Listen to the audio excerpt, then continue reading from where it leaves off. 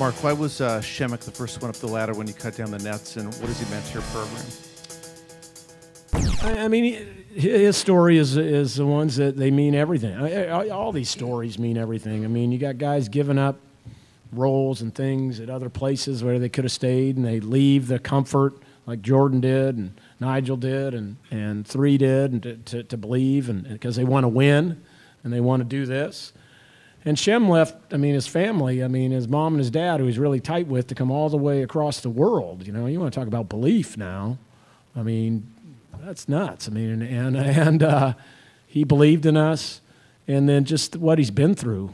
Uh, and I, I, think you guys are all aware of this. I mean, he has more wins than any player in the history of uh, college basketball. I mean, it's unbelievable. Am I right with that? Right? yeah, I mean, he has more wins than, than any player in the history. I mean, the great, you know, Grant Hill and Laettner, all these dudes. I mean, it's Przemek Karnowski's number one in college basketball. I mean, so I think that says it there.